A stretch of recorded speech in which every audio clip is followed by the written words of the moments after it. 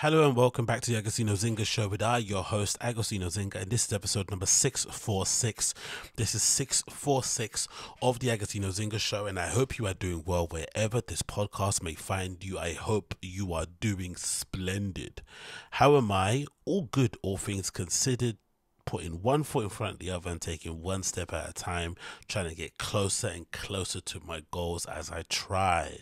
I'm looking forward to going out on the weekend. Can you tell? Can you tell? Can you tell? It's been a while. It's been a while. Gonna be tearing up the scene. Gonna be in KOKO, Camden to see Dixon play all night. That should be splendid.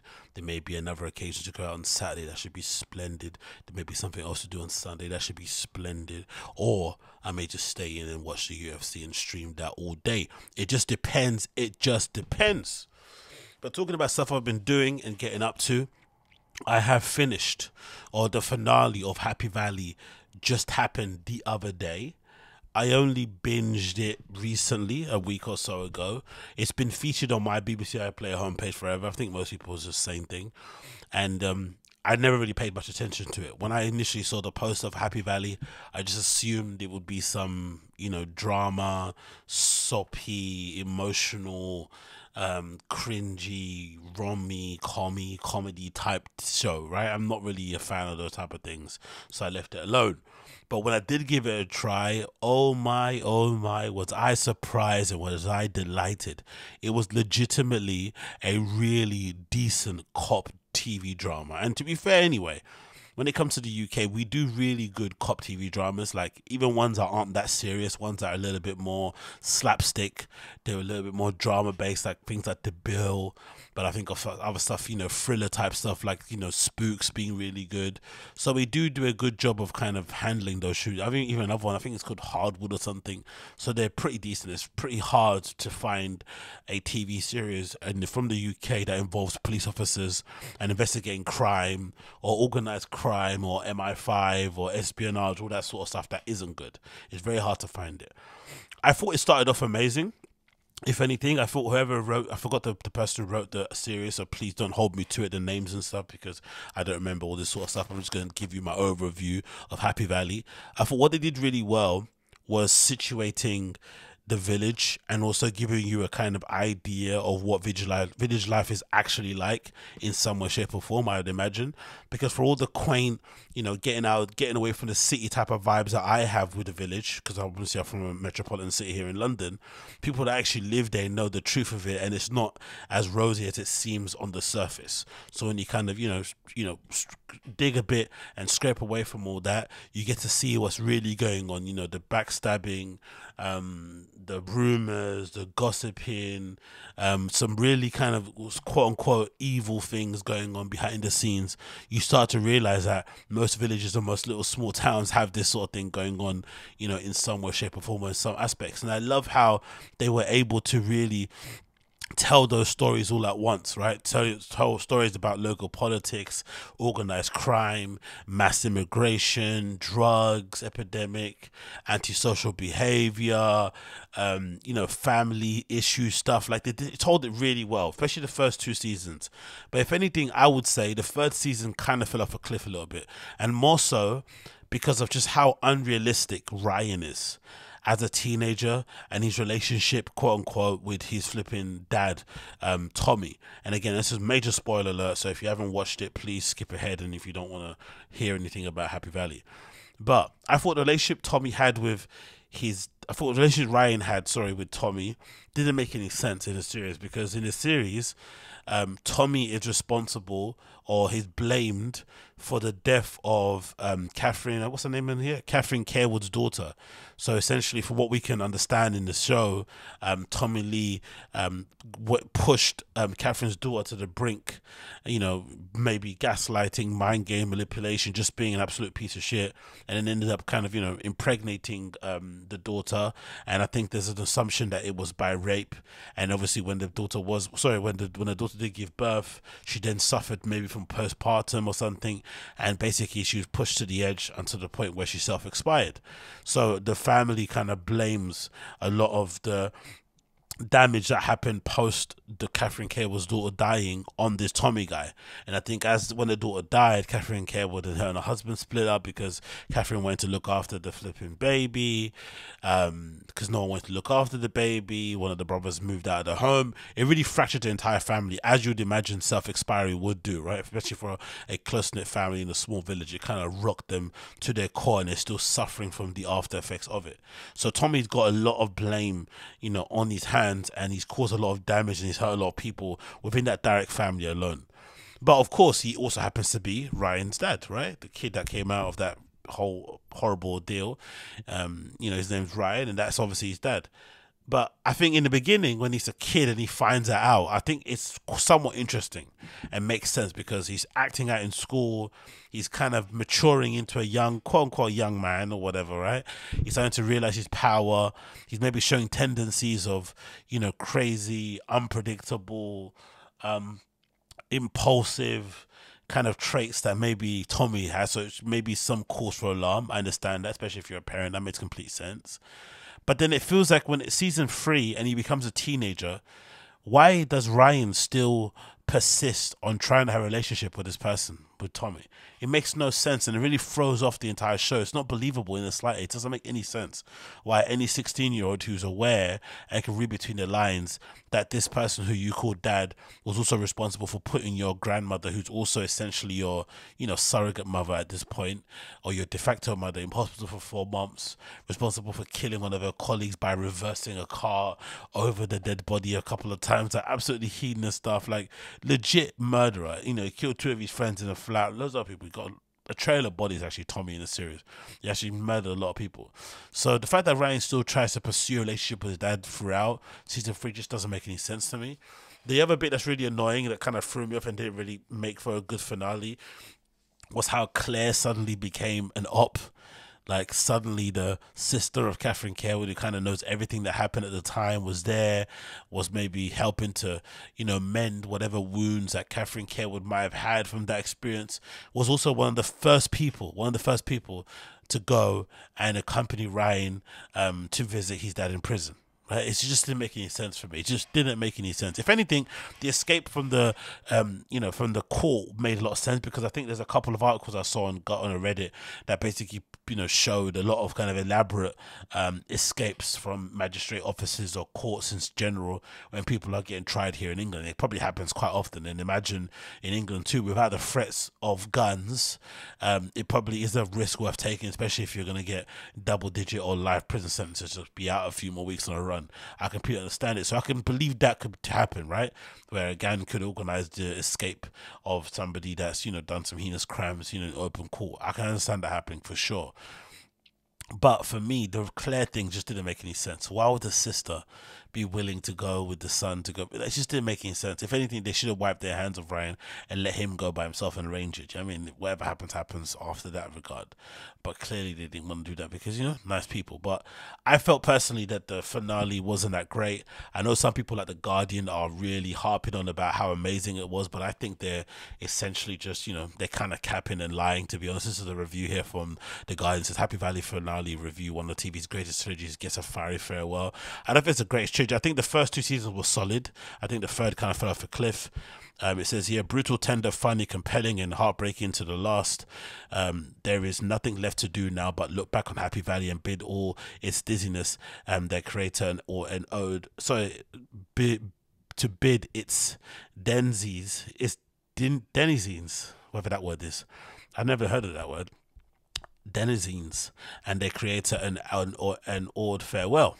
After three seasons, Sally Wainwright has concluded one of the greatest trilogies in modern television. She always planned to tell her bereaved protagonist story in a uh, three parts. You feel even though she hadn't felt like keeping her word, Catherine Carewood herself would step in and make sure she did. Catherine, um, Sarah Lancashire, of course, is the centre of Happy Valley's dramatic universe and the partnership between Lancashire and Wainwright is drama's equivalent of Victoria Wood and Julia Waters. Separately, they are brilliant together, they're invincible. In their professional capacity, Sergeant Carewood knows every baden and generally twats and sometimes shitpost, shitpot, sorry, good and, doing their best and in the in the Calder Valley outside work She's assisted to recovering alcoholic Claire and a former wife of Richard um, Derek Riddle and a mother of two and a grandmother of one. She's also the woman who will go to her grave mourning the loss of a 16 year old of mourning loss of 16 years ago of her 18 year old daughter Becky, who died by suicide after being raped and impregnated by the shit post by the shit pot of shit pots Tommy Lee Royce, which is played by James Norton. Again, he played that role really well, so big up him.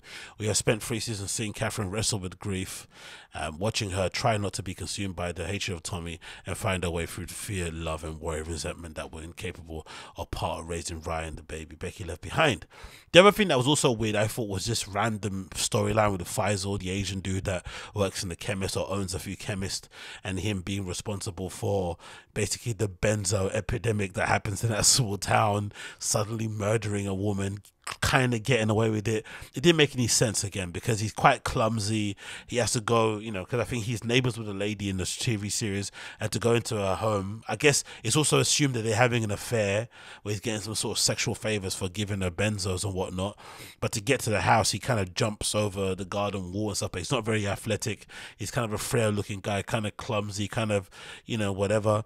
And somehow no one sees him all these times this kind of Asian dude is climbing over fences, you know, in daytime in a small village where people are always window twitching and you know looking at their neighbors and seeing Wagwan and being nosy. No one spotted him, like for real. Come on, let's be real.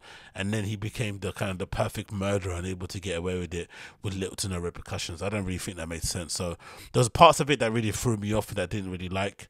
Um, but it continues here. Let's end the review. Oh, it's more of it. It's so long. Um, the penultimate episode left a general sense of there being an awful lot, possibly too much to do in the finale. Even with the extended running time of 17 minutes, Tommy had escaped from prison and made contact with Ryan, encouraging him to run away with him to Spain. Catherine and Claire's relationship had been sundered, seemingly irreparably by the deepest betrayal. But that's the thing. Like I said, like I just didn't find funny. It didn't make any sense. Like in the end, the kid's talking to the guy through a PlayStation.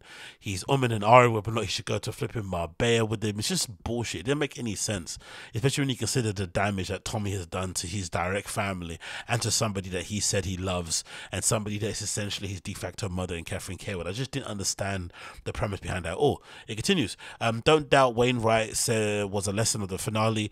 Um, as sure-footed as many fell walkers and aided by the cast without a weak link, she took us through the neat but truthful resolutions to every part of the story. It had a redemption, justice, bitter laughs, and fire in its blood. Now it's all over. Farewell then to our magnificent Valley girl. Let's hope Catherine finally gets her peace where she's going. But yeah, all right, decent show enough to watch.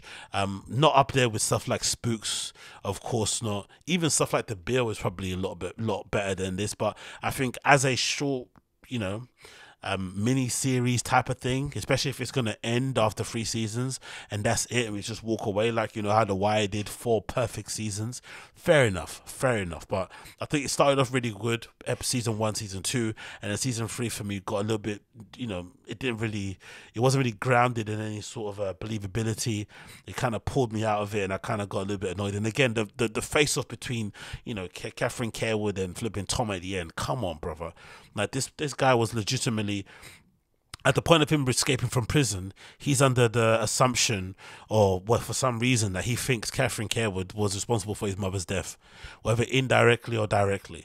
And he's he's filled with rage. That's why he's consuming rage. That's why he decides, or that's why he says, when he's actually escaping from prison, he asks the guy that he's in the flipping van with, "Hey, have you got a gun or something?"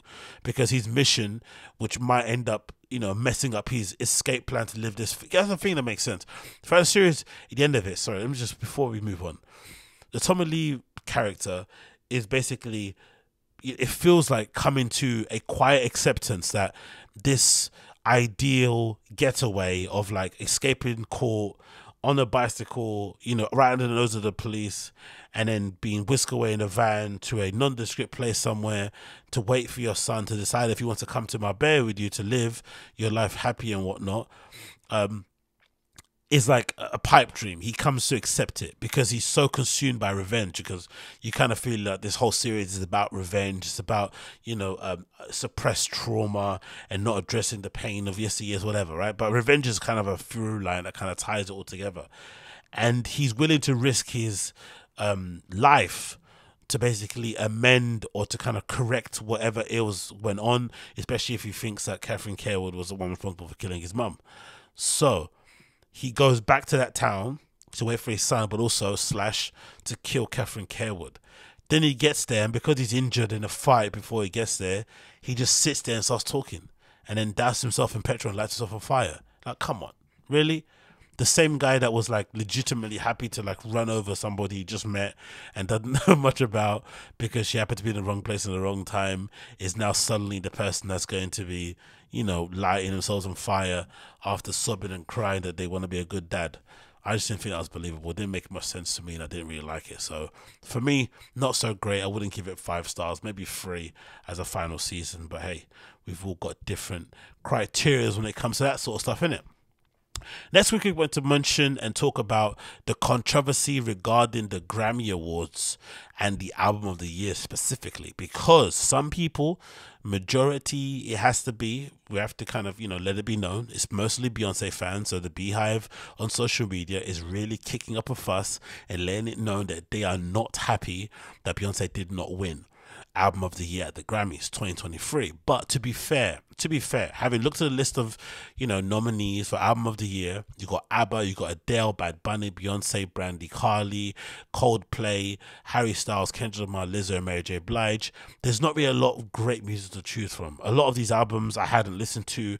ABBA, for instance, The Voyage was completely forgettable. I don't even know how that made it into a list. Maybe it's just like um it's just like a nomination that you make for just being a legend, or maybe for having a lot of kind of good faith and whatnot, and a lot of kind of good memories tied to some of your older hits. But that ABBA album was really, really bad. Adele 30, for me, all Adele songs sound the same.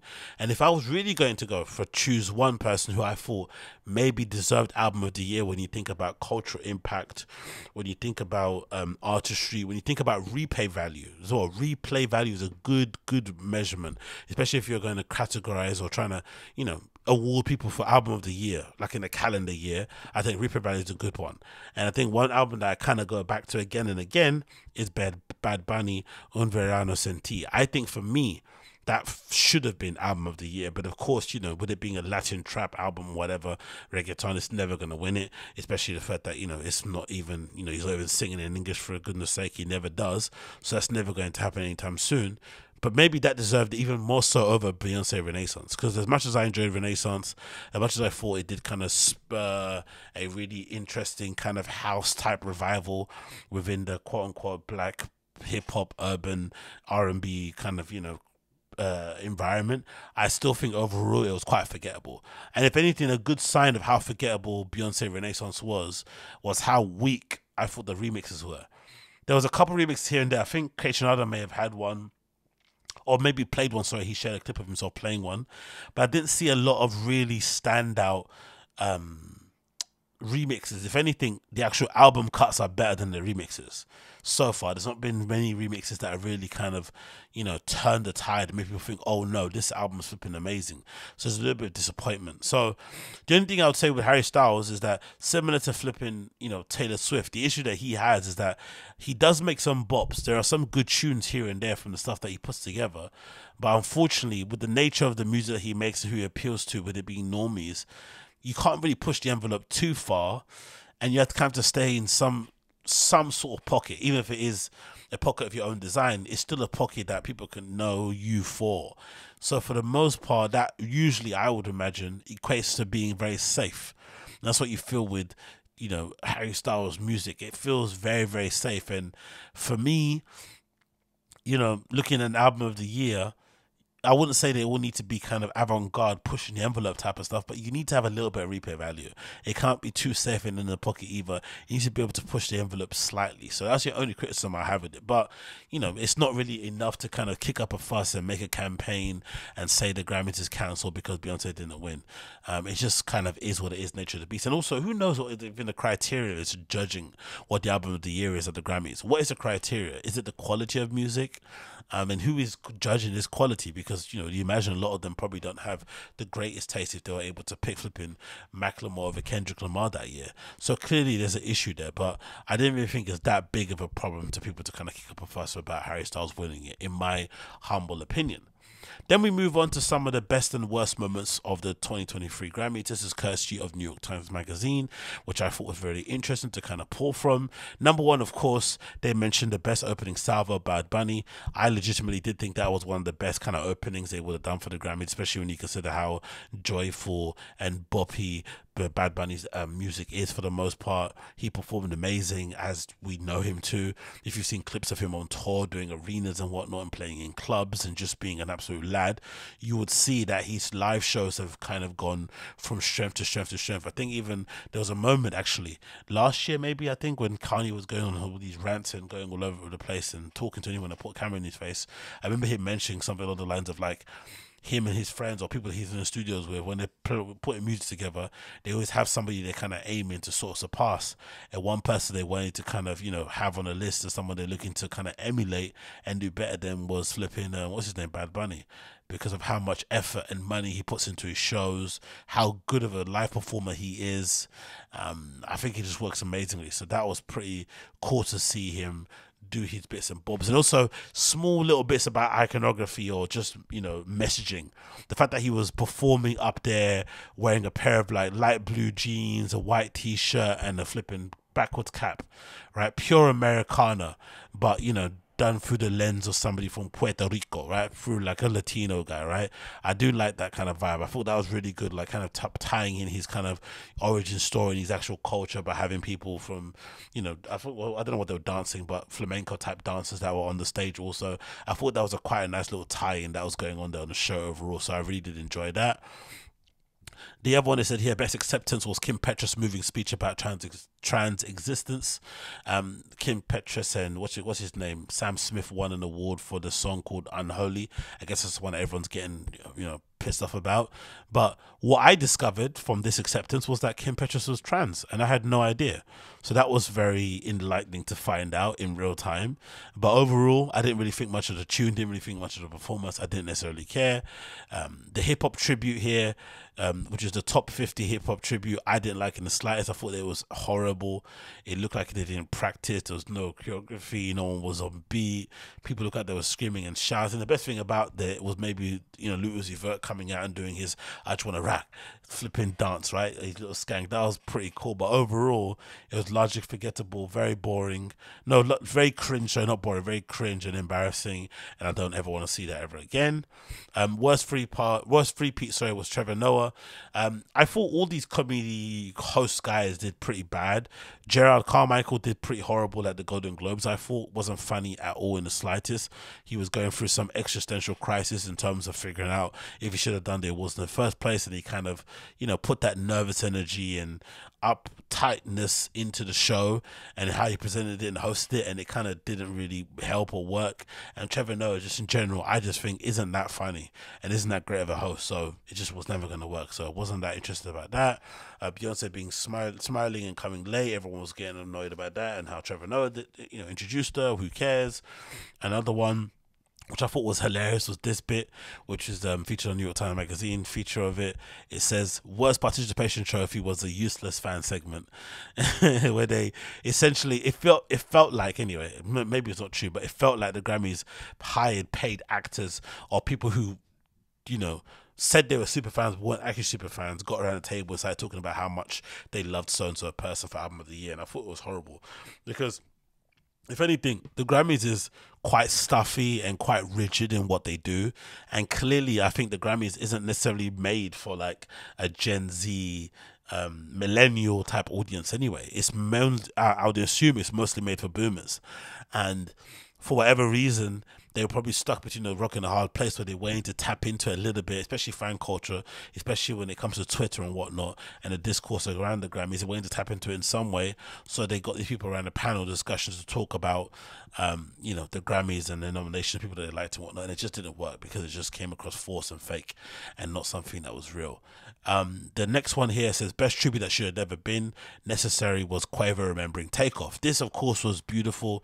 It really did bring a tear to most people's eyes seeing Quavo on stage performing such a touching and real tribute to Takeoff. I really did enjoy. It. I think most of us have seen the video of him performing the same song, looking very gaunt, looking very sad, looking very sullen as he kind of you know just hears the song, maybe play for the first time actually, and finally cut but I thought that song was really done really well. The only issue with this was the whole kerfuffle around this.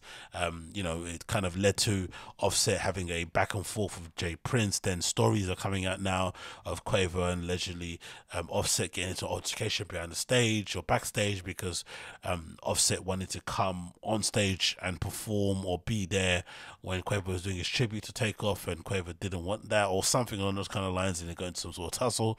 I don't seriously have issue with it personally. I, you know, maybe if it's because it's family and regarding what's happening, I do understand. Maybe you know, especially trying to bury the hatchet publicly, it would have been nice for them to kind of go on stage and do that. But if they haven't done the work off stage to really heal whatever rift they have going on for whatever reason it is, getting on stage and pretending and faking the fuck in the name of honoring someone's legacy doesn't necessarily sit right with me either. So I can understand both sides of the of the story in that regards. But obviously, the sad thing for Offset is that now it's opened a whole another can of worms regarding you know the Prince family and J you know J Prince and J Prince Jr. and all these kind of people coming out and essentially, you know, attacking Offset, basically saying he wasn't really down with the family, no one likes him, he's trying to clout chase off the back of this. Like it's pretty troubling. So that was a horrible thing to see off the back of that touching, touching tribute. I thought Beyonce's appreciation of, of sorry, Lizzo's appreciation of Beyonce was very well done also, even though it's a tad cringe. She did pretty well. And of course, the other ones we don't necessarily care about. But overall, um, Grammys were decent for what they were. I still think they don't do good enough in terms of trying to tap into the conversation around it on social media. They tend to do it very, they tend to be kind of, you know, a little bit laissez faire with it, not necessarily caring too much. But I do think if they were able to tap into that better, maybe make it a little bit more of a loose show, not so stuffy, and remove some of the extraness, it could definitely, definitely impact culture on a far bigger scale. But I'm sure, you know, from the sponsorships they get in anyway, just sitting here, they probably don't necessarily need to hear need to hear my advice when it comes to those things. I don't think they need to hear it. Then I want to quickly touch upon Lil Yachty's new album called Let's Start Here, which I've been absolutely banging and enjoying for the past week or so since it dropped. I really, really, really do enjoy this album. I think most of you who know me would know that I'm a big Tame Impala fan. Um, since the first album, to be honest, I've been flipping in love with that band forever. I think, if anything, they probably just reminded me of why I loved MGMT for so long. And because MGMT went on a bit of a hiatus, they kind of had big gaps in their, you know, drops. Um, Tame Impala came and kind of filled that kind of psych prog rock shoegazy type of vibe for me. They filled that niche really well, and it reminded me a lot of the kind of indie dance stuff that I was into as well back in the days of DJ with. So I've always kind of had an affinity with flipping Tame Impala. And sometime last year, I'm gonna say, if I'm gonna double check my flipping um Apple Music thing, Tame Impala did put out a remix EP for uh, let me just double check it here that I remember seeing a remix EP for Slow Rush. Yeah, that's the one. Slow Rush, right? It's a B side remix EP, and it's really well done. For, for for for starters, the cover's brilliant. You know, Tame Impala always have flipping deep deep covers, but it's called Slow Rush B sides and remixes, and it came out last year. And there was a track on here called Breathe Deeper, which is a track that you know Tame Impala already have on their album, but it was a remix featuring Lil Yachty, and I thought it was incredible incredibly well done. Lil Yachty comes in straight away, first verse, and kind of holds the entire tune right into the middle until it kind of switches out into the regular, um, you know, um, kind of tune and chorus and whatnot.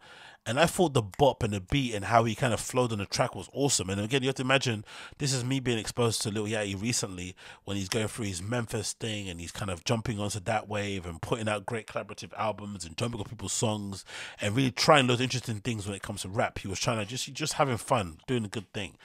And then he's doing this, and then of course that was amazing. And the next musical thing I see him legitimately putting out was um Poland, right? Um, and that was a random little throwaway thing that leaked that kind of became its own little thing. And then you're just assuming, okay, he's just gonna put out an album, you know, cuts full of that kind of similar type of sound and instead he just reverts and goes the complete other other way and decides to put out essentially a psych rock album. And I legitimately have to commend the guy. Even if you're not a fan of it, I think the bravery it requires to be somebody in his pocket who can clearly churn out a lot of those flipping great bangers and hits that he has in his arsenal and just make that work. He decided to go the opposite way or go the complete opposite way and do something completely different and basically you know, draw a line in the sand and kind of progress as an artist from there. Because I would hope so. My hope for Lil Yachty would be that he doesn't even try continue trying to perfect this sound. He just changes it again next album. I think that'll be pretty sick to see. Um, so he just basically just takes the kind of Kanye West approach to it, or maybe maybe there is some maybe a refinement that could be done going on, like an iteration, like similar to what Tyler the Creator kind of does. But I feel like if you're Tyler the Creator, like sonically and theme wise and tone and sound, it just feels different each album. There's no way you can kind of tie. There are maybe some chords or some strings or some you know, the run there's a running through line throughout most of his albums. I'm sure you can kind of point out, but for the most part, you would still say when you hear of a Tyler the Creator album coming, you know, and he's working on something, it's usually something going to be interesting, somebody fresh, something I've never seen before. So I love the fact that Yachty is kind of going in that, that direction as well. So hopefully this becomes a thing that sort continues on and doesn't see the lack of sales or the lack of coverage as a bad thing. Because I think, again, similar to what happened with Playboi Carti and Whole Lotta Red, where a lot of people, like myself included, didn't really get the album until we saw it live. I feel like this album may be the same. I think a lot of people who don't like the album, once they see him performing it live, you know, in a festival or something, or at his live show somewhere, suddenly it'll start to click. Oh, okay, this is why he did this this way and why this flipping rocks. But I think this is going to work really well, personally, for me. Um, I think to pick out a couple of tracks that I actually liked that I thought was sick. Number one, I'll definitely say Running Out of Time. I thought that was absolutely amazing. Personally, for me, I think it's one of my um, standout. I didn't know Justine Skye. It doesn't have features on it. Okay, on the when you buy it from Map Music, I didn't even know Justine Skye was featured on there. I thought Running Out of Time was really nice, and it kind of reminded me a little bit of the Weeknd song. Um, which is another one called Time as well. What's the Weeknd song called? Um, Running Out of Time by Lil. Yeah, it kind of reminded me of the Weeknd song. Um, let me see if I can get up on here. The Weeknd. Where is he? Boom, boom, boom, boom, boom. Boom, boom, boom. I'll just type it on here. Weeknd. There's a song on there where I think even features the girl from um uh what's that thing called from uh what's that Korean TV show? I'm sure she's in the video, right? If I'm not mistaken. Anyway, that's the one. Yeah, um, I got it here. Out of Time. There's a track on the Weeknd album called Out of Time that reminds me a lot of Running Out of Time. So, it, it's just ironic that they've got the kind of same sort of title. But I thought that was absolutely banging. There's a track here, if I'm not mistaken, called Track Five. I think that's an interlude, which I'm a really big fan of. I think it's like a spoken word. No, it's not spoken. It's like it's like a Lil Yachty ranting about you know how the difficulties of being famous and rich and stuff. And there's a re- really nice beat or nice kind of tune playing in the background as a bed that's so magical, so euphoric feeling. I would love to just get that looped, you know, even sometimes without the vocals just playing in the background. It's such a good mood setter. It's such a good mood setter. It reminds me of those type of songs that you play before you're about to do ayahuasca or something to kind of just set the room and prime it. That's what that felt like. I thought that was absolutely banging. Um, what's I like? I've, I've lost vision. I officially lost vision was really nice, and of course, my one of my favorites was the last track, "Reach the Sunshine" featuring Daniel Caesar, which I didn't know that she was actually featured on it, but I thought that was absolutely crazy good. Um, so for me, in terms of the 14 tracks, um, there's not many skips on this entirely going forward. I love the fact that there's so many switch ups in between the tracks that kind of throw you off um, and kind of add to the whole overall texture of it. And I legitimately can't wait to see him perform this live at some way, shape, or form. But for me, I really enjoyed it. I really did like it, especially coming from a Tame Impala fan. I didn't think it was like a Tame Impala copy or that he was trying to cat it in any kind of way. I really did think that he did a good job. But clearly, the people at Pitchfork didn't think he did a good job, as you can tell from the review I have here on screen. The Pitchfork people put it as a 6.0. Um, this is courtesy of a person called Alfonso Pierre. Let me see what he actually said about um, the whole album because I actually read this. What did he say? He says as follows. At a, at a surprising listening event last Thursday, Lil Yachty introduced his new album, Let's Start Here, an unexpected pivot with a few words every rapper fan will be find familiar.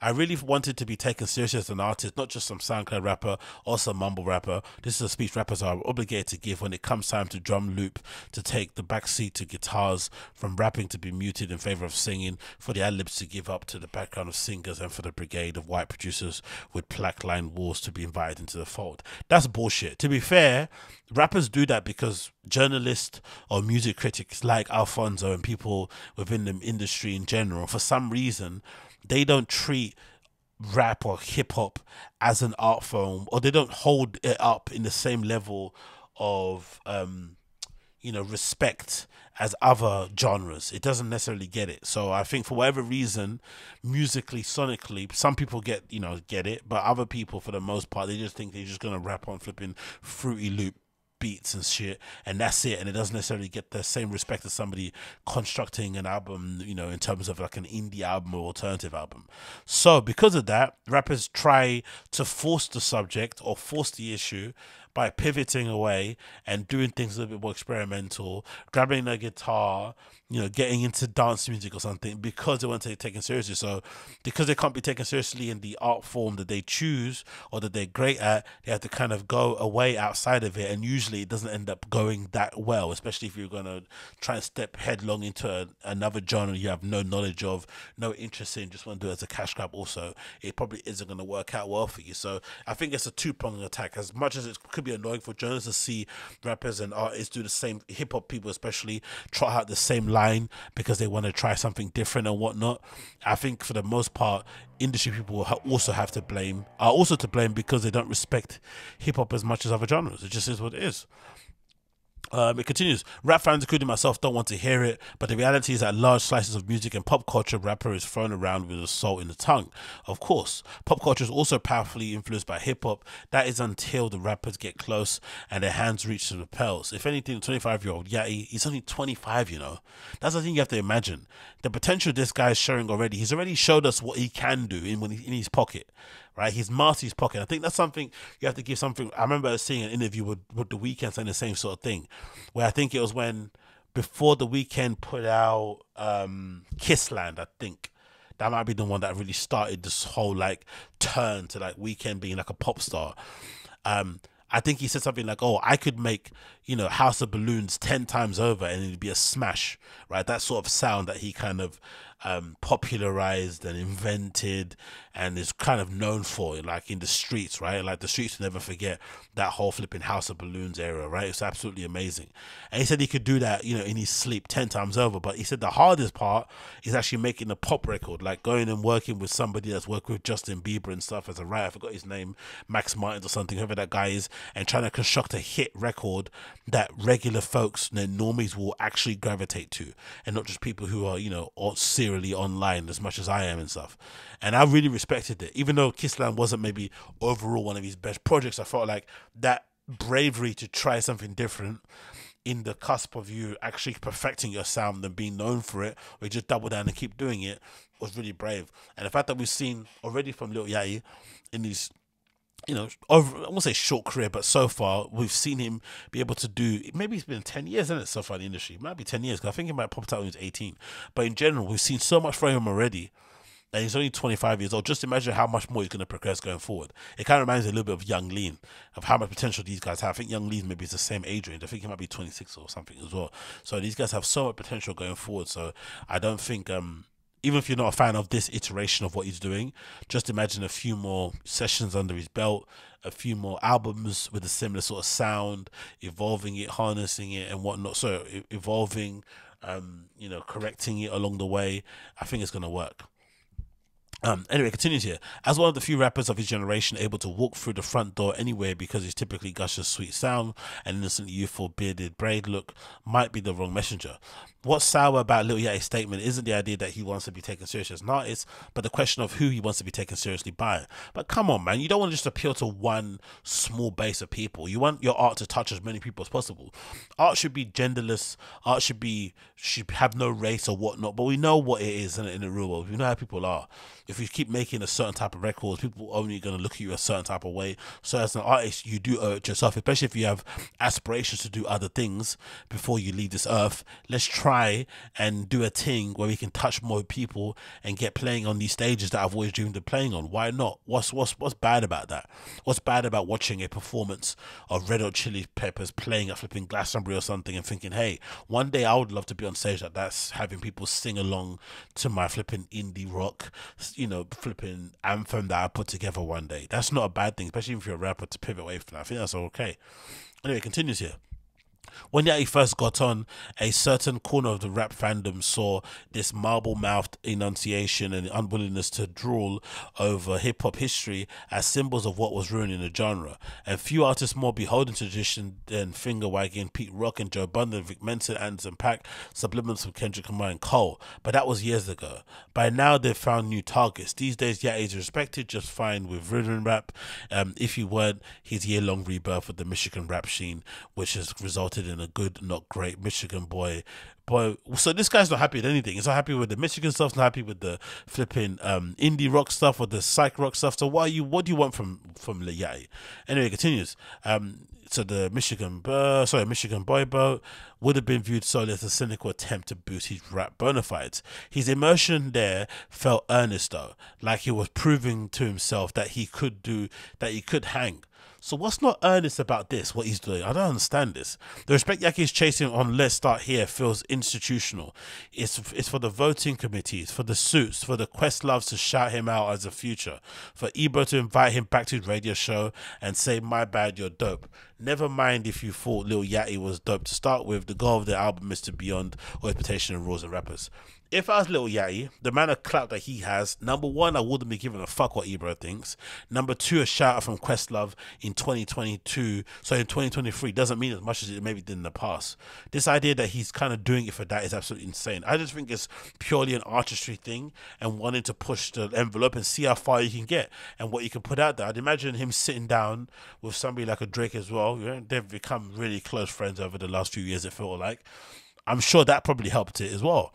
The fact that Drake went out and risked, you know, his reputation in rap by essentially making a flipping deep house, tech house, atmos, you know, what's it, what's it been called, atmospheric, um, flipping house album, and that not really working too well with most of his core audience.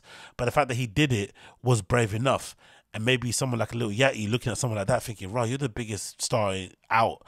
And he's probably heard stuff that we haven't heard before, unreleased stuff, thinking, hey, this guy could just make Wu Tang forever, you know, 10 times over in an album and you'd be happy with it if you wanted to. But he purposely doesn't. And he purposely kind of tries to test himself and push the envelope and tries new and fresh sounds and kind of takes it forward there. I'd imagine that would influence it also. I don't think he cares about those guys, personally, anyway.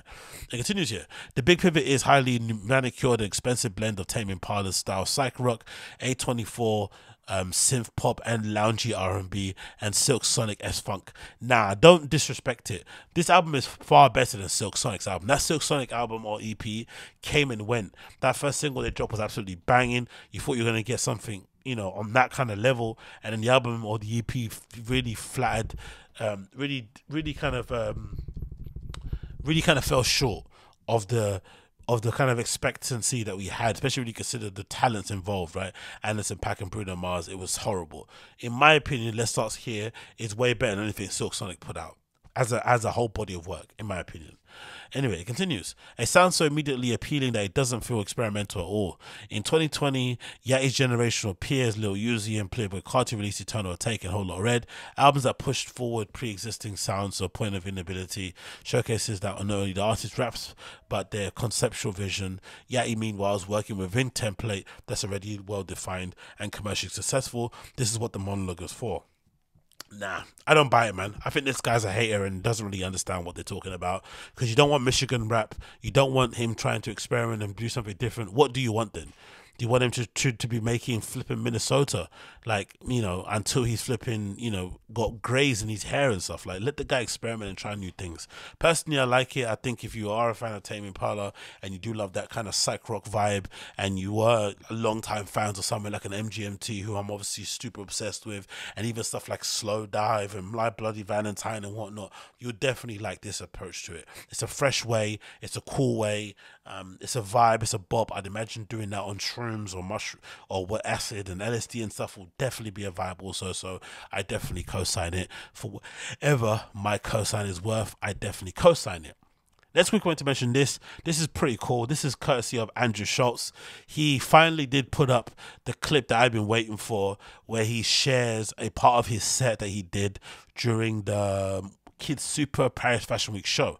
Um, I think it was sponsored by Jägermeister, I think, and Puma, and they flew out a bunch of comedians. They were on the show, and it worked really, really well. And they were all able to do little stand up bits as well in front of a fashion audience. It was pretty cool.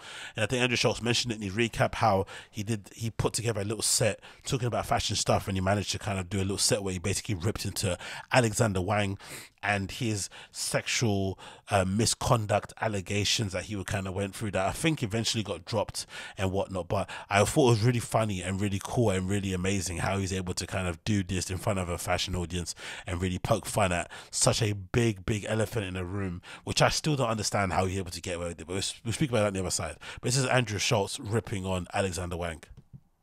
It is amazing to be here at Paris Men's Fashion Week, or as Alexander Wang calls it, the buffet. I think he likes to grab dicks, guys. You know, Colm is a good friend of mine. Colm's actually uncircumcised. His parents are here. Mom, is this true or no? Okay, you don't have to put the light on her. Okay, she's gonna sneak into Colm's dick to hide. Just.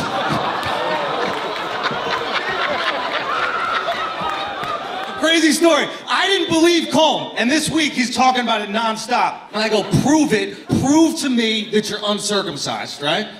And he literally takes out his dick, and then out of nowhere, Alexander Wang just grabs onto it. It was fucking quick. Drop it. Drop it, Alexander. Drop the dick. I asked, uh, I asked Colm to dress me cool. He's like, what do you want the look to be? And I, jokingly, jokingly, I say, yeah, dress me like a teacher that fucks the students, right?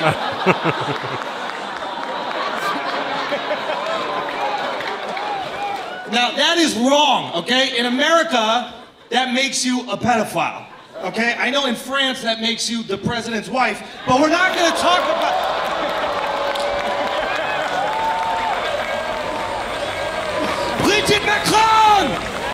Absolutely amazing. I really did enjoy that. But it really did make me think about the whole Alexander Wang thing. Legitimately made me think about it. And about how crazy it was that he got away with it.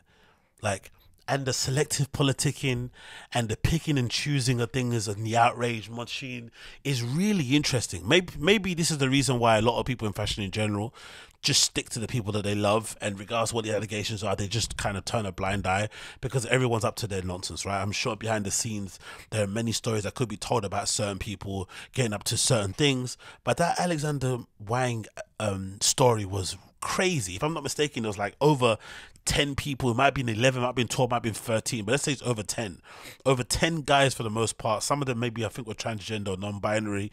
Basically accused Alexander Wang essentially of spiking their drinks and then basically being very, very, very aggressive sexually to the point where, you know, people are basically accusing you of being, you know, rapey and whatnot.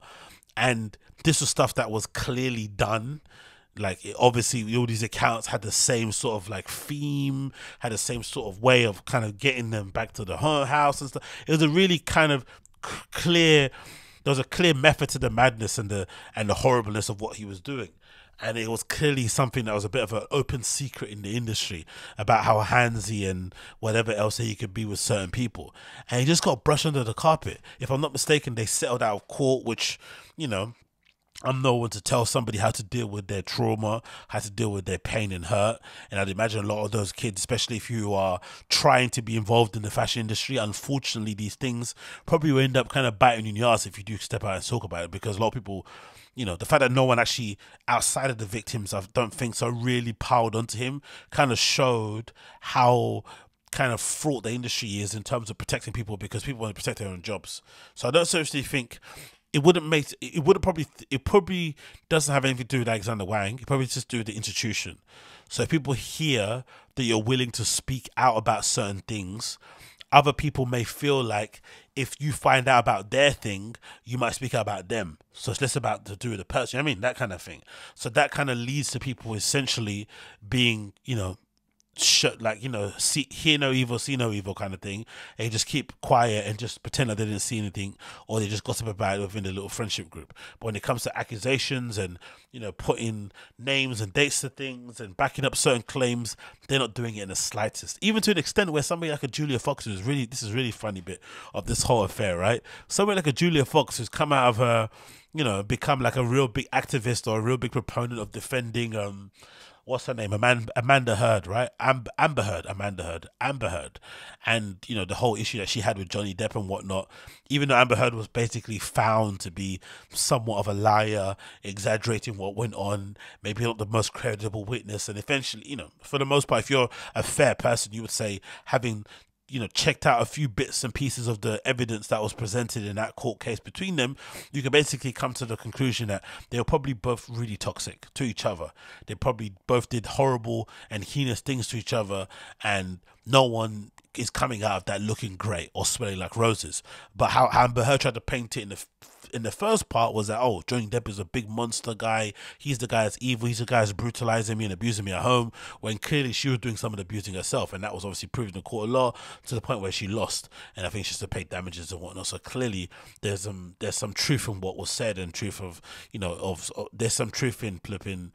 Johnny Depp being innocent. For whatever reason, Julia Fox doesn't uh, believe so, doesn't believe that and a few other people also out there are saying, you know, believe all victims and um, essentially saying it was a bit of a mistrial and it was unfair and just defending Amber Heard, which you have, people are free to do, innit? You do whatever you want to do, best evidence to be available. But I just always find it really funny how she was going over, she was really going and defending flipping Amber Heard and basically, you know, crying for her innocence. But then in the same token, wi- willingly and proudly wearing you know, Alexander McQueen stuff, considering his allegations or considering what he's been accused of, and essentially, you know, settling out of court and you know, whatever you would imagine would be some sign of guilt um, in that instance. And there's not a word to be said. Again, that selective picking and choosing of cases, like I'm going to fight for Amber Heard, but then I'm going to wear and back, you know, Alexander Wang and what he does. Personally, I wouldn't, I wouldn't care if I'm a fan of somebody's work.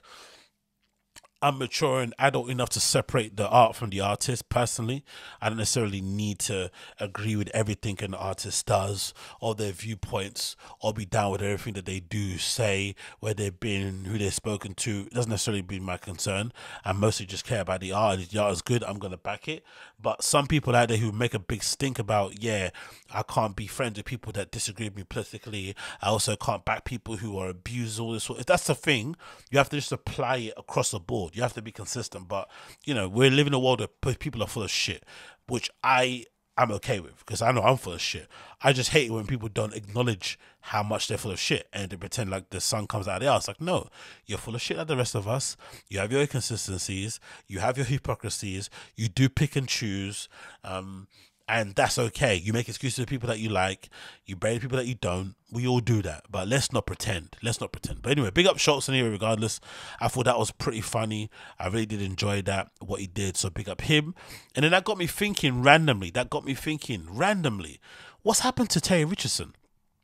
We haven't heard from Terry Richardson in ages, isn't it? Right, the famed flipping um, fashion photographer who was most I'd say famous for his work with American Apparel, although he did plenty of other stuff um, as well. A lot of the things I kind of remember him for was some of the great stuff he did actually that kind of goes under the radar. I feel like was some of the stuff that he did with um, Vogue Paris during the time when Emanuela Alt was the what you call it um, editor in chief, and of course you know Paris, I think Vogue Paris is gone or something. Is it gone or is it a new team or is it Vogue France? I think it's Vogue France now. But anyway, the the the long established Vogue Paris that's now kind of defunct and turned to Vogue France, I'm not mistaken. Emanuela Alt was the editor in chief there, and even maybe with Anna Wintour, or maybe with Karen Karen Whiteford also. But I do remember Terry Richardson doing a lot of really good work in that magazine, and that's when I really found out. Oh, cut! He's an actual legitimate photographer who maybe dabbled in all that kind of you know super overexposed, flashy type of photography for American Apparel, but what he's actually creative and amazing at was what he images he able to create in his editorials for Vogue Paris. But of course, you know, he went through that crazy um, cancelling thing that happened to him. I think he might be one of the first people within the arts that kind of happened to. It maybe during Me Too happened as well. And the stories, of course, around Terry Richardson were horrible. You can only imagine were based on the pictures that he was taking, how handy and how you know rapey maybe he was and abusing he was. Of course, the look of the guy doesn't necessarily help. And I googled. I thought, hey, what's happened to him? And then the first thing that popped up on New York Post was this article. It says disgraced fashion photographer Terry Richardson sells his New York City firehouse because so far, I've not heard a single peep about him in the scene or in the industry, but I do know a lot of these photographers, from what I've heard in the industry, in fashion in general, a lot of them, most of their bread and butter comes from working from very big commercial projects or commercial campaigns. So, you know, stuff with IBM, Dell, H and M, Zara, you know, whatever, all that sort of stuff is what actually pays the bills. And then you do the fun editorial stuff with like ID and the face and whatever else magazine out there for fun and to kind of flex your artistic and creative and image making abilities. But what actually pays the bill day to day will be the big stuff. So maybe he is doing the big stuff with the Zaras and the IBMs and whatnot behind the scenes and the Mercedes and whatnot, and we don't really know about it. But he's kind of quiet. He's kind of been off the radar for the most part. I don't really see him anyway. He doesn't necessarily go to parties anymore.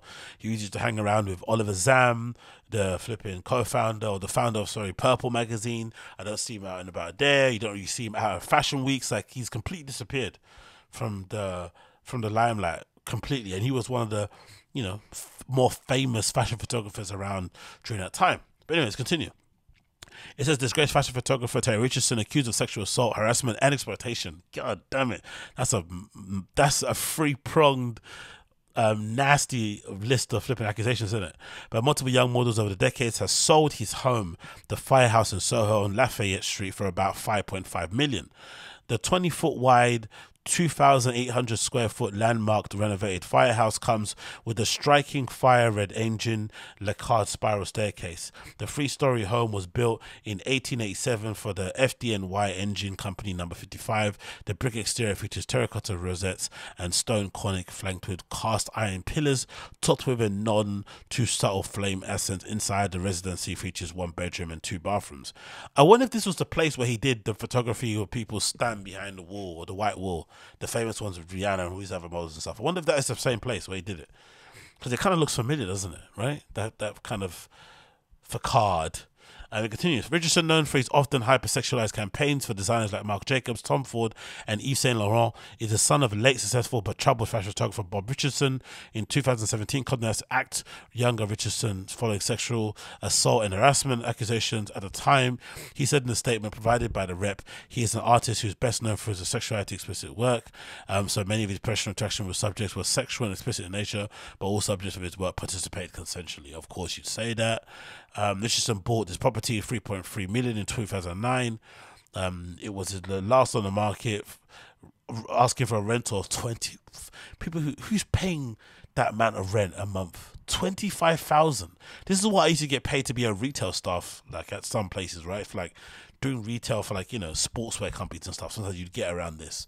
So it's 21,000 a year. People paying my salary I used to get for a year as a retail staff per month crazy. Richardson could not be reached at the press. Um, at press time, the current sale we hear is off market deal with the broker Nick Gavin of Compass, who declined to comment. So, no comment from him directly, but clearly he's selling some bits and pieces, raising funds, and living a somewhat quasi quiet life. But yeah, Terry Richardson got completely cancelled and it was done for him and he hasn't come back since. Alexander Wang legitimately spiked, you know, up and coming models and scenesters and socialites people drinks and got very handsy and then out, you know, out of court or whatever, settled with them allegedly. Who knows? Don't sue me.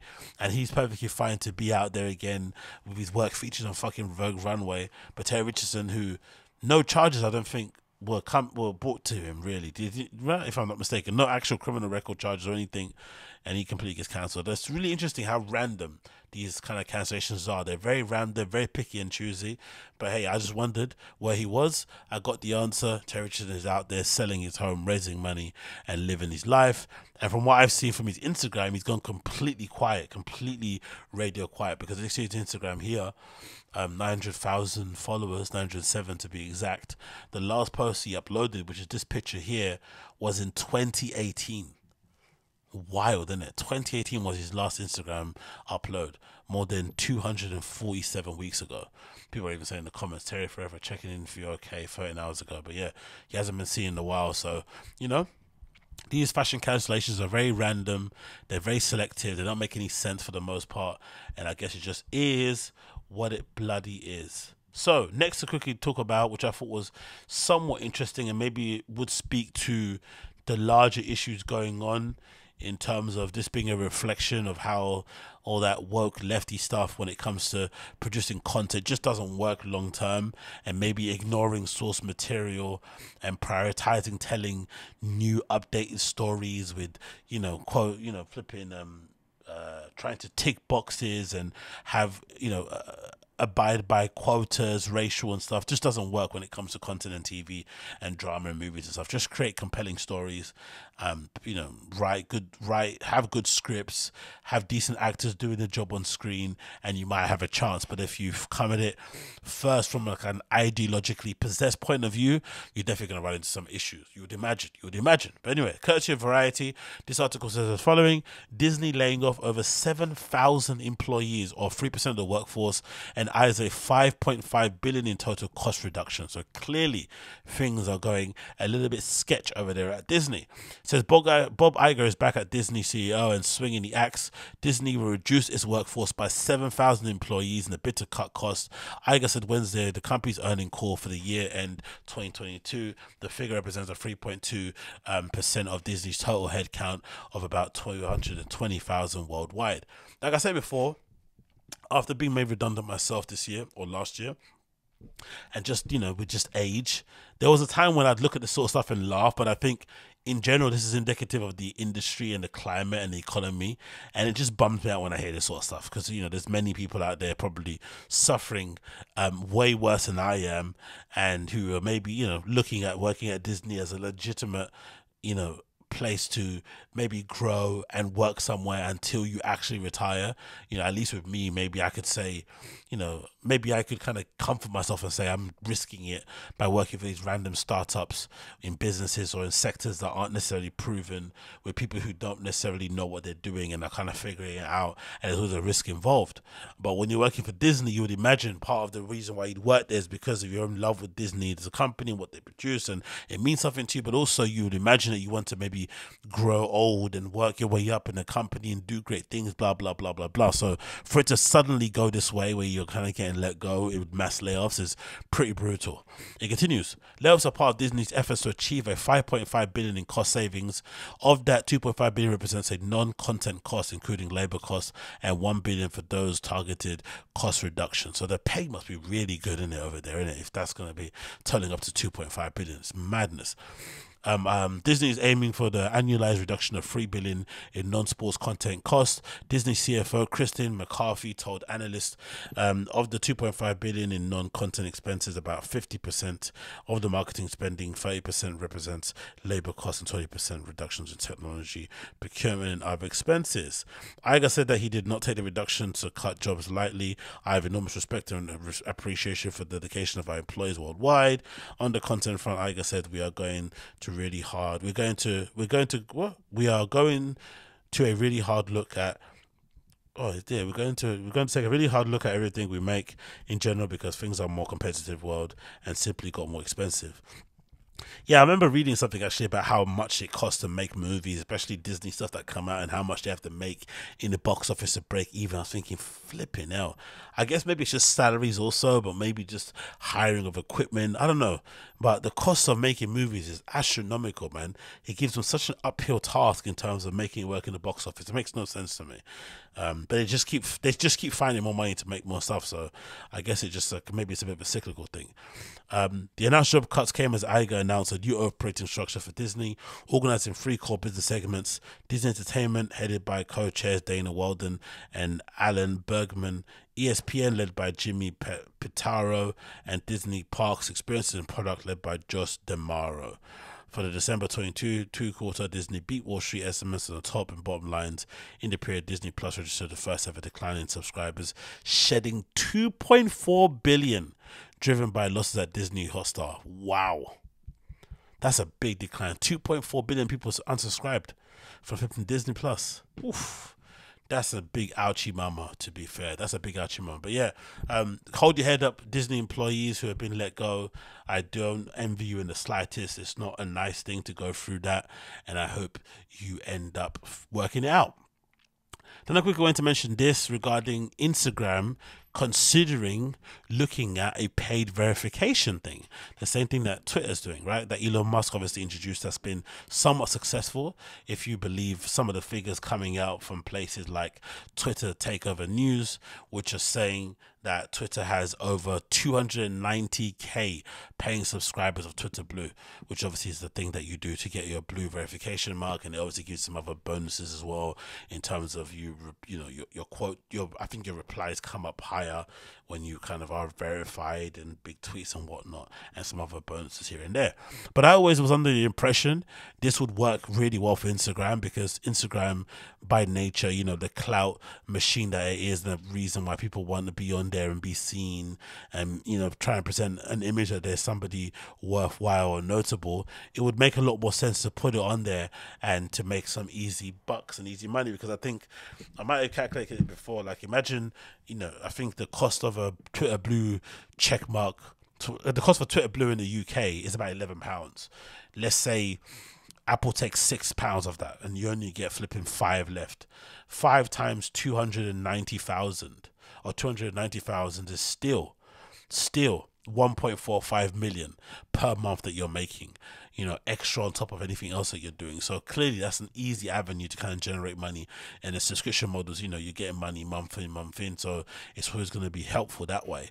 And for someone like myself who uses Instagram as a way to kind of share some of the work that I do, creative work, whatnot, content bits I put out, whatnot.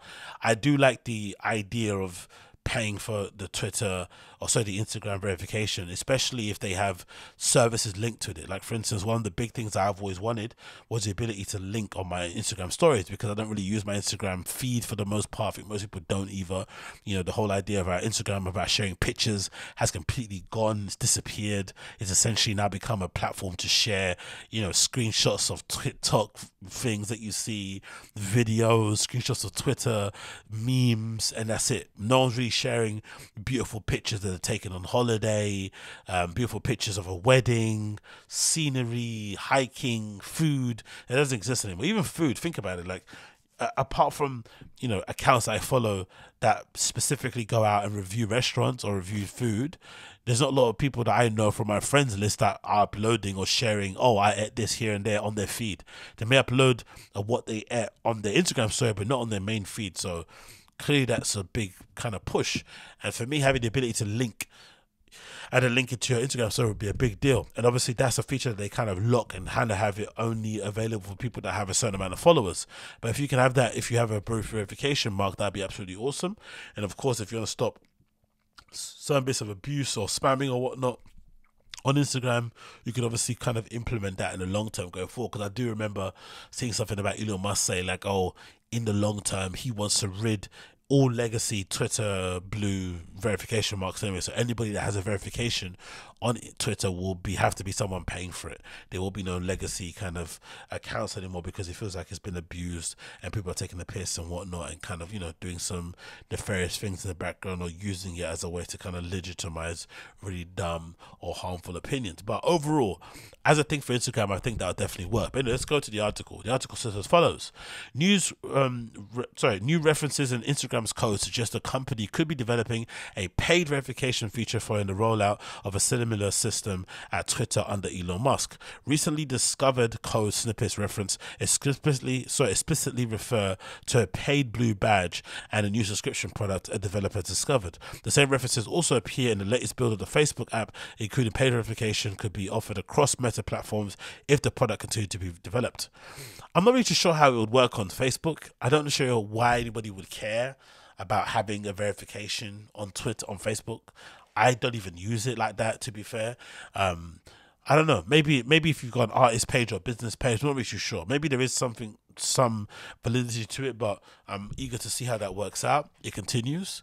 The discovery was made by developer and reverse engineer um, Alessandra Paluzzi, who was previously spotted a number of new Instagram features before they launched, including the in-app scheduling tool that launched in November and the newer QR code sharing features. He also regularly spotted other internal prototypes like Instagram's candid challenges and features in development with Twitter. Typically, Instagram confirms its smaller tests or prototypes when it's discovered, but in the case of the paid verification option, the company chose not to comment, which is a big deal that means they're definitely looking into it. Again, if you're looking at the figures, if I'm if those figures I said was right, and if Twitter are getting five pounds out of the eleven pounds that it takes to Twitter Blue, they're still making one point you know one point four million of the two hundred and ninety subscribers, and it'll only go up over time as they start to add more features and whatnot to it. You would imagine.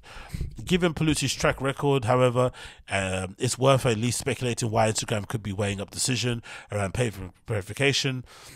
Specifically, Paluzzi shared the TechCrunch screenshot in the app code that included lines that says IG name paid blue underscore badge IDV blah blah blah. Another one that says FB name paid blue badge IDV. He suggested that given the context, IDV could mean identity verification, as was known as also meaning for his acronym.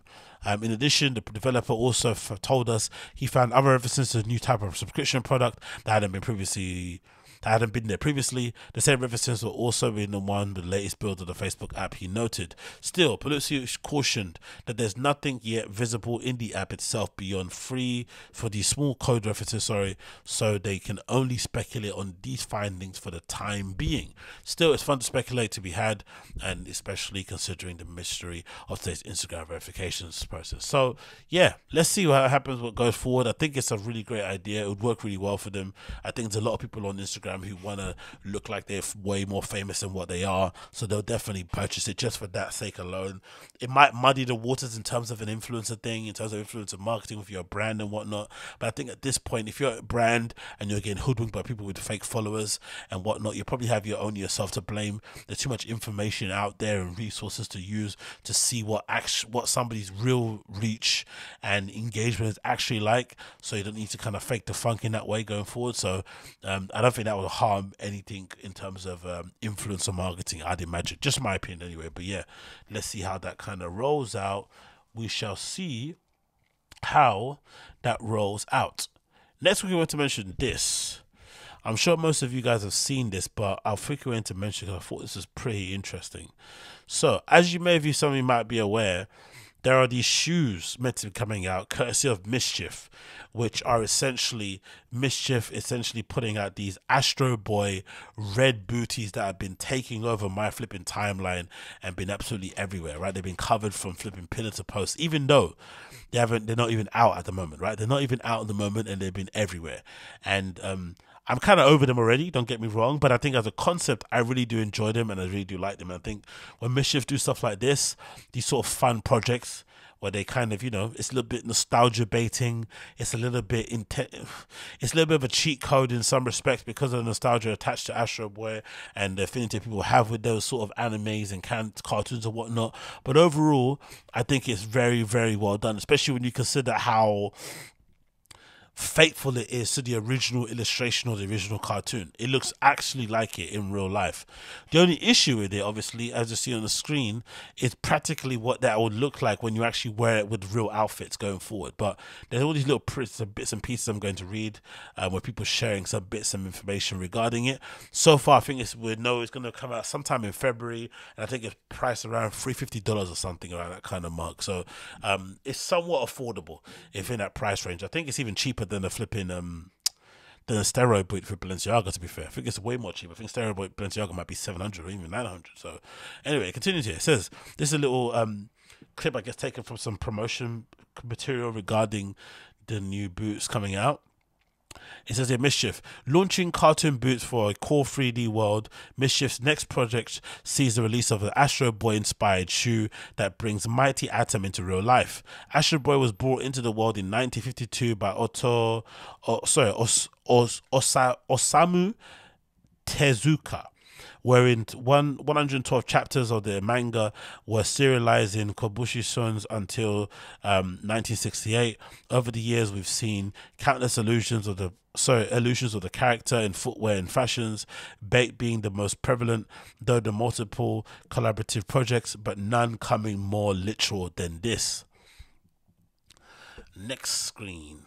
It says, Never before have we seen an adaptation done in such a manner. MSCHF calls them the big and red, stating that the big red boots are really not shaped like feet, but extremely shaped like boots.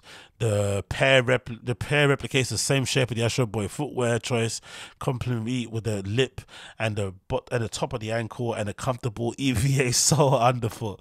Um, looking at the outsole, we we see a ribbed gripped outsole with MSCHF's only instance of branding, which is pretty decent, right? The fact that they didn't put any unnecessary annoying branding on the side, no stamp on the back of the heel, and they just trusted the design and kind of wanted to put something out that was tasteful and just put it up at the bottom, I have to give them praise and props for that because the temptation probably was there to actually put the stamp on the side. But I think the fact that they look so iconic, right? The big red boots, I think immediately people will associate with um, with Astro Boy, but mostly they'll associate him with MSCHF because for the most part, most people wearing these have never read an Astro Boy manga, let alone watch the anime or any cartoons or anything attached with it. I don't, I doubt it. So I do think the little hit of MSCHF on the on the sole was a really good idea and a good design choice for them going forward and actually makes them look better than what they actually are. But of course, when it comes to being comfortable and stuff, I'm not really too sure if these are really going to work for most people. And, you know, as you can see with this little clip here that I'm featuring playing on the screen, somebody, a hype beast, I'm assuming, grabbed them and put them to wear. They come in a really massive big red box, um, oversized, absolutely incredible size box. I think he's got all the other MSCHF shoes as well. So he's a bit of a collector when it comes to MSCHF stuff. And they typically look pretty horrible. It looks like with regular clothes. There is maybe a assertion that you should maybe get them and wear things that are a little bit, you know, it's like people that wear um what's that thing called? What they're snow boots? So they're snow boots or they're called moon, no moon boots. Most people that I see wearing moon boots are usually wearing them in a very non-ironic or no, a very ironic sort of Y2K um, way and they're sort of kind of going a bit crazy with the styling in that regard to make those boots work. You're very rarely seeing people just wearing moon boots with skinny jeans and a black hoodie because if you're going to wear this type of boots, why not go a little bit crazy with the uppers? So I think with these Astro Boy boots, you probably need to do the same thing going forward. The only thing with me is that when I see people wearing these type of boots and I see them wearing hidden t-shirts, immediately I kind of be like, you know what? I don't want you to be associated with that type of hype beast, with that type of streetwear fan, with that type of head. It's not something that I really want to see and be cool with. So, if anything, all this viral marketing that's been done really well online for them has been a bit of a blessing and a curse because you've seen some people rock them and make them look cool, and you've also seen some people wear them like this dude and look completely dorky and completely lame and something that you don't want to be associated with, especially when you see him prancing around somewhere in a car park outside of his house wearing these silly boots, wearing a flipping stupid hidden t-shirt. So clearly, or hidden and white, whatever that shit flipping page is called. So clearly, it's not something that I'm really, really interested in that regard. But still, I think as a design, as something to look at, as a spectacle, I think it looked pretty cool and pretty interesting. I think overall, I'd much rather see iterations of these flipping, you know, um, boots from cartoons and shit, you know, made into real things or inspiration of those things kind of plowed into real things, then I would like to see companies going out and making flipping horrible copies of Jordan 1s and sticking dice logos or Thunderbolts on the side of them. I much prefer it when they try to do these interesting projects with shoes and try and basically, you know, offer something a bit fresh and a bit interesting going forward. Because I think if you're not a sneaker company, you probably owe it yourself to do that. If you come from it from like a fashion creative project design point of view, why not try something different? Why not try something a bit interesting and kind of throw it out there? The only thing I was really interested about is that can you actually have the wrong foot on? Is that possible to have the the left on the right? Because they're all kind of rounded shape, right? This very round, oblong, oval type shape of the shoe. But maybe on the inside, maybe it has a bit of an instep on the inside. I'm not really too sure. But on the outside, they don't look like you could tell what side is left or side is right. But I'm sure that does come that way. And also, I did see from the books that they are sized. So they don't come like I thought there'd be like a size range because of how tight they are. You could just basically have it small, medium, large, but they do actually come as a size. So if you're on a US 11, a US 8, US 7, blah, blah, blah, you can get those as well ordered. So clearly that's a thing there. But so far in terms of outfits um, i think there's a campaign here for um, that MSCHF actually did featuring the one and only Sarah Snyder. And she actually looks fairly decent in them but i think the issue with these boots for the most part what i've seen they look quite cool stationary when people are sat down chilling. They don't really look that great in motion. And i think a lot of the stuff fashion in general, I think for the most part, a lot of things online. That's the issue sometimes with buying stuff online too much. Seeing stuff in person or seeing other people wear them in real life can really give you an idea of whether or not something's going to work for you or not. And these days, because there's not really many great retail stores, the outside scene or outdoor scene isn't as great as it once was before. There's not really spots where people collect and you know and group. Maybe outside of fashion weeks, I can't really think of any other places where a lot of people that are into the same brands that I'm into to would be out and about, so I necessarily understand or know how certain things work. I think of something like a Salomon um, XT XT sixes and stuff. When I saw them online, I never really liked them, but now that I've seen them outside and people wearing them day to day has become you know a really popular shoe model, I've now kind of been able to put them into context and be like, you know what, this could work with this outfit, this could work with that look. But before, when I just saw them as a product image with a white background, I was like, you know what, that's not for me. So you need to see these in IRL. But but I feel like these boots they just work stationary. They work, you know, sat down somewhere. They work maybe, you know, jumping in an Uber and go straight to a location where you're gonna get stuff brought to your table, or you're gonna go to a bar that's two meters away from your table. But actually going out, interacting with the world, and living day by day, I'm not really too sure if they're gonna work. I'm interested to see if that guy, what's that kid's name?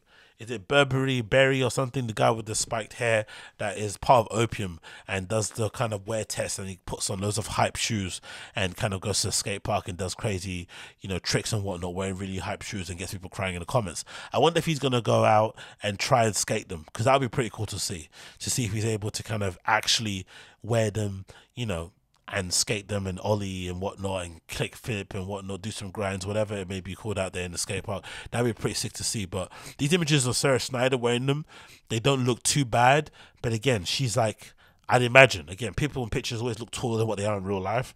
But imagine in real life she must be like five foot one, five foot two or something. She's very slight, very skinny, very slim girl. So clearly they're gonna look quite cool on her in this way. But I still think, personally for me, they need a bit of effort to be worn, to be look good.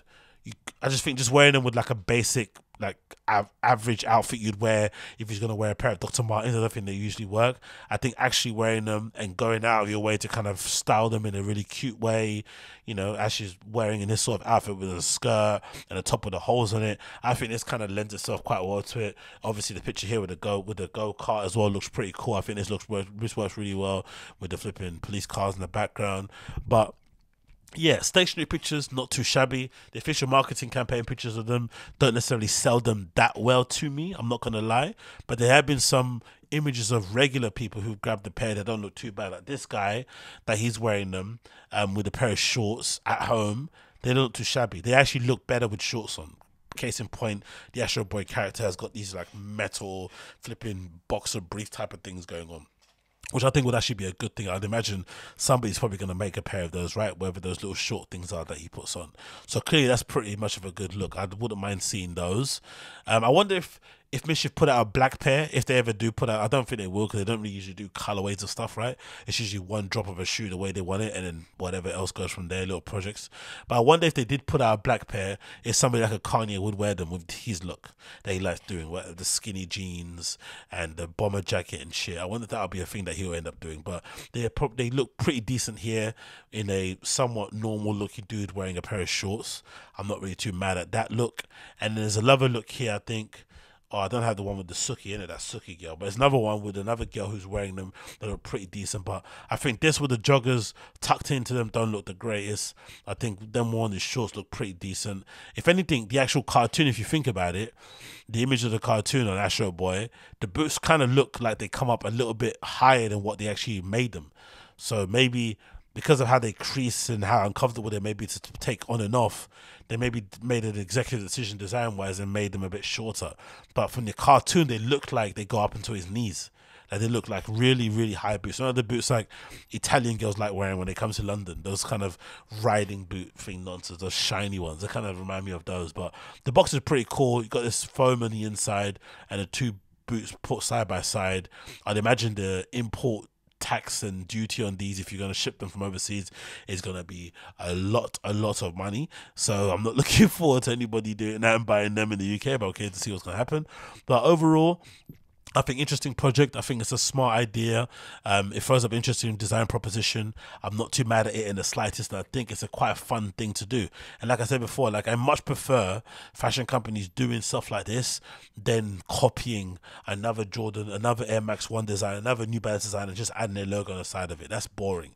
Let's kind of be creative and do things that you know maybe sneaker companies or sneaker companies can't do because they're a little bit stuck in their ways and you know whatever it may be, and just take the easy way out and try and offer something interesting and fresh that may be aligning more to our brand and what we're about. And I think this is definitely a good way to go about things. So not mad these are the slightest. Um, I love the idea, but overall, I think the the aggressive marketing and influencer seeding campaign of it has kind of put me off. There's been a few people showcased wearing them who have not necessarily liked the way they've kind of dropped them and what they kind of look like, and it's kind of maybe just put me off overall. And I do feel like it's been a little bit of a, I feel a little bit like I'm played, like payola, like I feel a little bit like manipulated into kind of liking them in a weird way because they're a little bit nostalgia based. Do you know what I mean? Like if if, if I didn't recognize a cartoon or didn't understand it or didn't really remember seeing images of Nigo, I'm thinking one of his houses with massive flipping life size figurines of Astro Boy and stuff, and remembering where that's from, then I wouldn't really be down with it. Do you understand? So it's kind of I felt like I'm being a little bit duped. Like, do I actually like them, or is it because they are tied to a part of my childhood or growing up in a scene that I'm still look at fondly, and when I see these images again, suddenly I like it. I'm not really too sure, but either way, um, I do like the approach to it. Um, I think some people have started them pretty decent. Some people started them pretty horribly.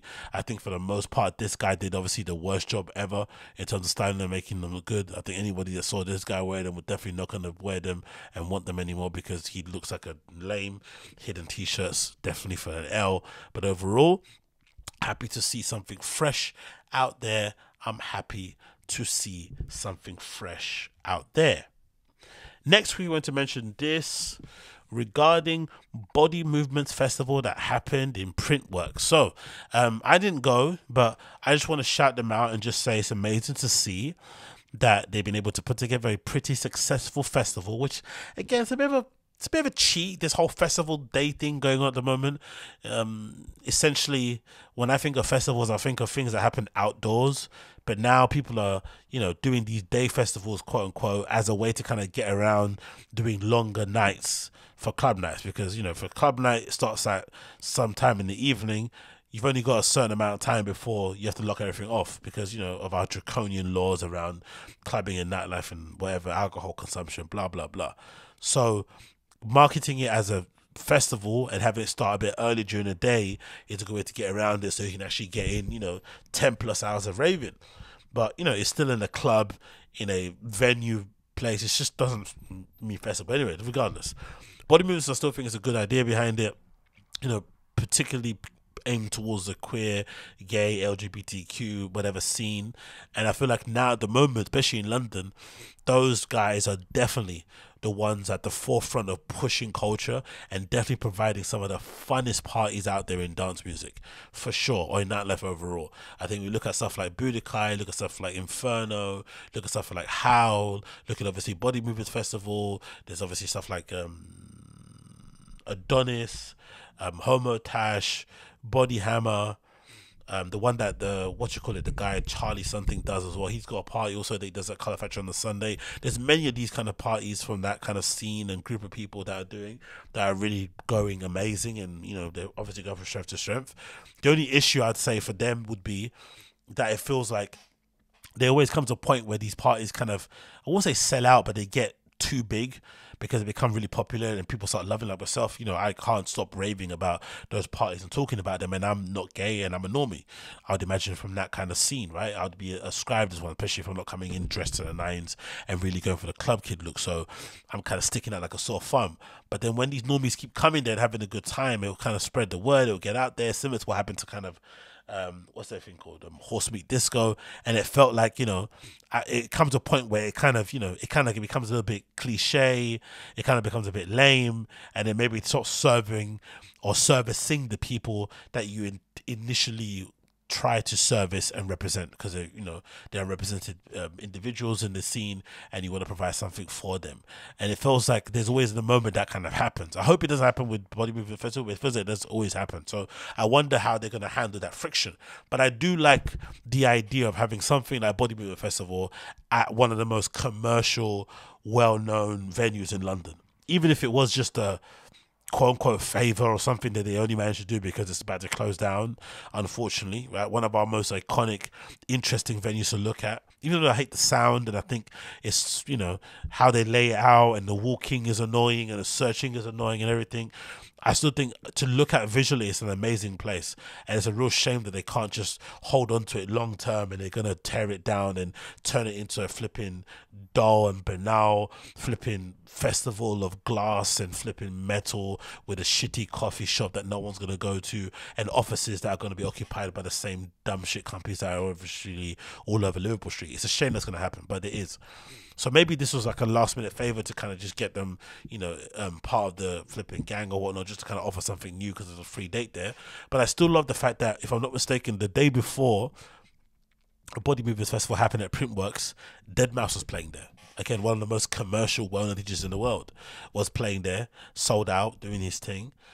And then the next day, you got all these amazing you know, with all respect intended, freaks, weirdos, gays, queers, lesbians, whatever, all under the sun, LGBT come flooding in there and living their best life, showcasing themselves, presenting themselves in their best way. Like I think that kind of contrast is really amazing for me personally. I think that's super, super cool. And if anything, that should be what should be happening in most venues going forward in London. But obviously, you know, we have our issues, blah, blah, blah. So for them as a team, it's probably quite satisfying to go from throwing these quote unquote smaller festivals and now suddenly you're in one of the biggest venues in London and you've got all these people who are basically identified what you're doing, feel represented, feel seen, kind of partying and having a good time. That must be such a sick feeling for sure, for sure. So big up them. I'm gonna quickly clip play a couple clips here I'm showing what they basically did. Obviously, you can see some images here from them, which look flipping amazing. We'll play this. Actually, this one video there with the projection on Printworks there in the background. I just, you know what I wish? I just wish, in my opinion, I just wish Printworks sounded as good as it looks because it doesn't. It just doesn't sound as good as it looks. I think because if, if you're used to going to these industrial type of places, the one that obviously comes to mind is Berghain. You initially think when you walk in or when you see it, oh, it's going to be like that. But when you walk in, it just doesn't sound the same. The sound is terrible, in my opinion. It kind of, unless you get to the front if you're right at the back, it kind of sounds like equivalent to you know if you go to like a barbecue and somebody's got like a DJ, or you go to someone's like house party and they've got a little DJ booth and they've got like some active monitor speakers to the front.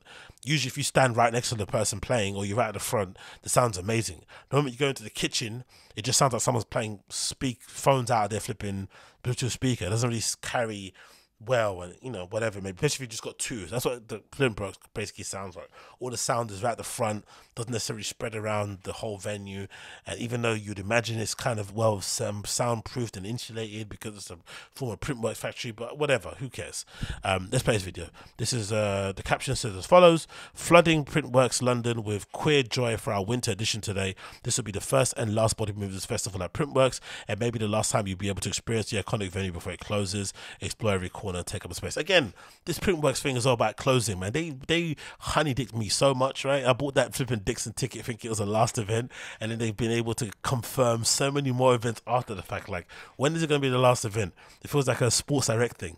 Closing down sale, closing down soon, last sale ever. It's like either close or open, but just do something. Let's play the video.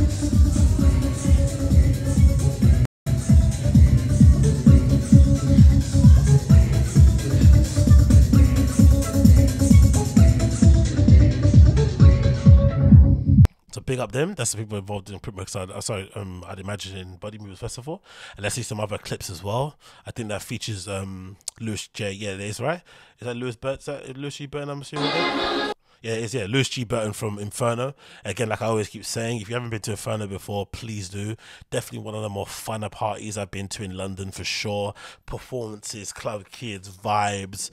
Um, and the good thing I like about this whole, I like to deem it alternative nightlife scene. It probably is a, uh, the most respectful thing to say, I'd imagine, but just a kind of way to kind of identify it from the usual things that go on out there, from the usual kind of quintessential tech house nights and whatnot. The reason why I like this really a lot also is the fact that programming wise, they tend to pick people within their own little community.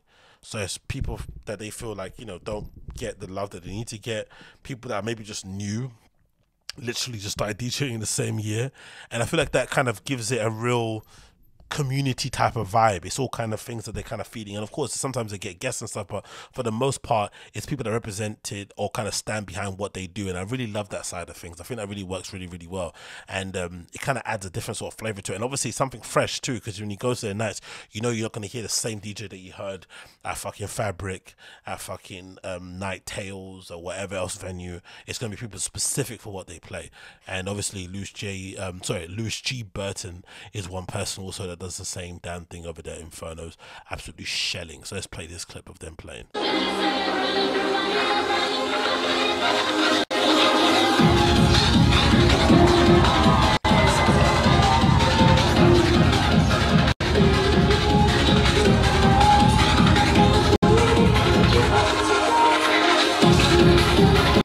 That must have been so much fun. Imagine how much fun that must have been. That must have been such a bloody vibe.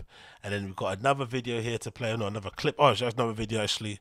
Showing the people walking and doing the damn thing, enjoying themselves. What's the caption say here? Scroll up. Um, we're back for our summer festival on July 29th.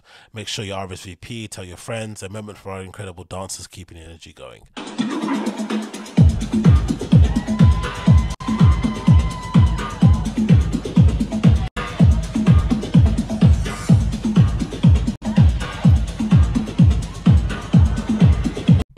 Good, isn't it? To me, this this is what made it fun. To be fair, especially after being obsessed and you know um, bothered about all the Berlin stuff that I kept going to all the time, and then coming back to London to be depressed of how boring and one note our scene was. Even though the diversity was really good, I felt like you know there wasn't enough club kids with enough of a vibe, and obviously folk popped up, and that obviously serviced a good need. But I feel like this whole scene has kind of pushed and kind of pushed people out of their comfort zone and kind of pushed people to be more club kiddie looking wise, going out wise. People really make an effort with their outfits. They're coming something new, something fresh, never wearing the same outfit twice. Like it just feels like a good vibe. And even for someone like myself who's like a normie, I'm just gonna be standing there in all black wearing whatever I usually wear and in the corner just observing things. It's it's a real visual, it's a real like um uh, sensory delight, right? When all your senses are kind of tickling, seeing all these amazing people, you know, frolicking around the place, enjoying themselves, living their best lives, being all comfortable around each other in this quote unquote safe space and just enjoying themselves. That's really, really cool to see, just visually. Even if you're not, you know, identify with anything that they're about, whatnot, just to see it as a club kid is really something cool to see, especially if you're used, like I said, like myself, to be in the party where people just dress in all black and a bit boring. To see all that color and vibrancy is really, really, really, really cool, and I'm a big fan of it. And again, one last post here. Um, it says here, I guess from the founders of it, We'd like to thank the 5,000 plus queer and trans bodies that took over London's iconic Printworks on Saturday.